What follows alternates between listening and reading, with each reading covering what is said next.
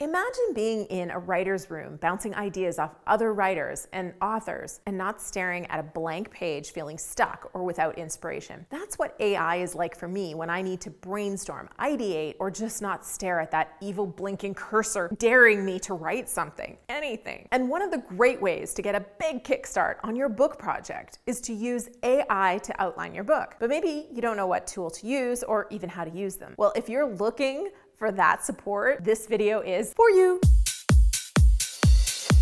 Hey there, I'm Julie the Book Broad, founder of Book Launchers, where we have courses and full service offerings to help you write, publish, and promote a nonfiction book. Now, to be clear, before we dive in and I show you how these two tools can help, I want you to know that I'm not suggesting you write your book with AI. Yes, you can do it. Yes, it's faster, but there are three concerns I have with using AI to be the writer of your book. The first is you can't file for copyright protection if you generate your manuscript with AI. If you're a thought leader or a subject matter expert, you are likely writing your book to create intellectual property you can profit from, and you want to protect your ideas, experience, and advice. The second reason is that I've yet to see a first draft of a book written by AI that was even remotely good. To create a decent draft using AI, you need to be very skilled at prompting and do it in small chunks. You have to enjoy prompting more than you enjoy writing to be really patient and persistent enough with this. We had an author, this is just our secret, okay? We had an author who was an AI expert use AI AI to write her book. And it read like those visions you see on TV where someone took some drugs and went on a colorful trip that had some things based in reality, but the rest is like, huh? I even asked her, would you ever use Odyssey to describe your life? And she laughed and said no. And I said, it was in the first section of your book three times.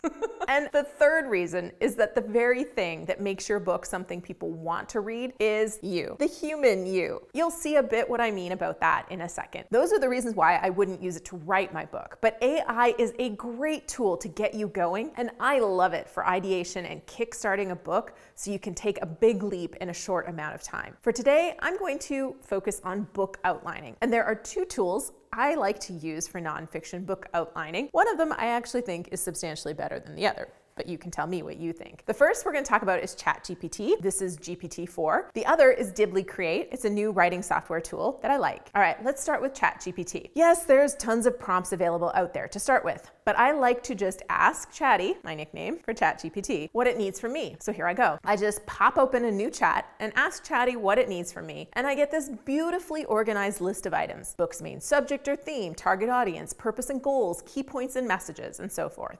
this list is like Chatty is on one of my book positioning calls, chatting with an author considering working with book launchers to write, publish, and promote their book. This is all the stuff I ask on those calls. But the next details are more like the things our writers or our book writing coaches would review with our authors structure preference, research, angles, length. Next, I proceed to address each item in detail. If this was really a book I was going to write, and maybe I should, you can tell me in the comments below if this should be a book. It's already kind of a course we offer, Book Marketing Magic, which you can learn about at booklaunchers.com forward slash magic. So maybe I should actually create this book. Okay, but if this really was a book I was going to write, I would have this material ready to go and I would spend more time and effort giving details. For your sake, I just hammered it out quick and simple so you could see an example in action. We'll just fast forward my typing to get to the response. After a lot of typing, I hit return and wait.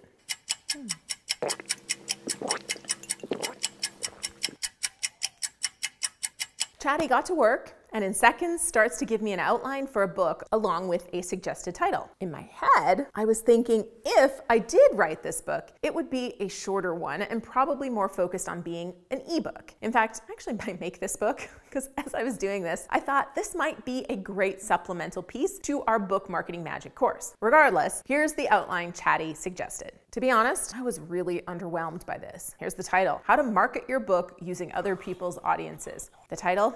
Well, it's definitely SEO friendly, but that's a snooze fest. And that definitely reflected in the content of the rest of the book. Looking at this, it is the opposite of our hashtag no boring books. This is in fact a boring book. I don't want to write this book. Chapter one, understanding your position. And so, and you can read the rest of them there. Now, there's two things here though. Sometimes when you're having trouble defining what you want, the easier thing to do is define what you don't want and extrapolate what you do want from there. So in seeing this, I can see more clearly the book I I want because that is not the book I want. Second, when Chatty gives you a crap, you can tell Chatty, that sucked, and I need you to do better. And so that's what I did. Now, this is something I am way more interested in. Audience hijack, snatching success from other people's followers, a not so secret guide for nonfiction authors to make some noise and sales. Okay, now I'm excited about this book. And look at these spicy chapter titles Undercover Author, Spying on Your Book's Potential, Matchmaker Madness, Finding Your Book's Soulmates. Okay, that's better. But if you don't like the theme or this inspires a new angle, tell Chatty and you can keep refining it. The next piece I want some support on with this content is to have some potential research and resources. So I would ask Chatty for that specifically. And as you can see, Chatty pumps out a list for me.